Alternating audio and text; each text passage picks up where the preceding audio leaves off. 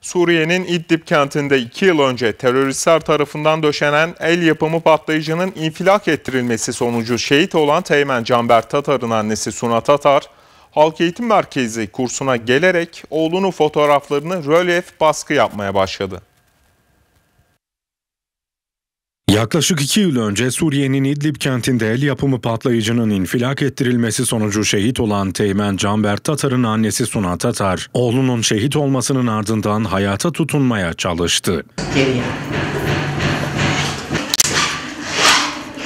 Farklı etkinliklerle kendisini oyalayan anne Tatar, yakınının tavsiyesi üzerine Elazığ Belediyesi Eğitim Merkezi'ne bağlı Halk Eğitim Merkezi'nde el sanatları seramik ahşap kursuna yazılmaya karar verdi.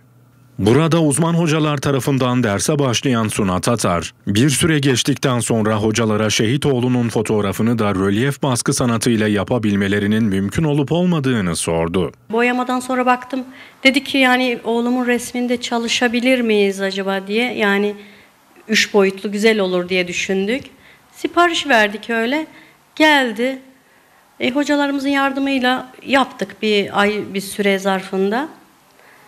Çok güzel oldu. Yani benim için de bir terapi oldu. Yani çevremdeki insanlara, eşime, dostuma da öneriyorum gelsinler. Ben bir şehit annesi olarak yani buranın çok faydasını gördüm. Hocaların elbette cevabıyla karşılaştıktan sonra işe koyulan şehit annesi Tatar, kursiyer ve hocaların yardımıyla şehit Teğmen Canberk Tatar'ın fotoğrafını rölyef baskı sanatıyla tamamlayarak evinin en güzel yerine bıraktı. Önce aklımda yoktu da böyle şeylere bakarken e, internet sayfasında baktım ki böyle işte e, özel resimler de basılıyormuş. Dedim ki benim oğlumun da resmini büyütüp yapabilir miyiz Didem Hanım'a, hocamıza. O da dedi olabilir dedi. Dedim çok güzel olur ben onu yapmak istiyorum. Sonra dedi dayanamazsın abla dedi sen e, yani onu kesip biçmeye dayanamazsın. Dedim olsun yapacağım yani nasıl olsa da yapacağım.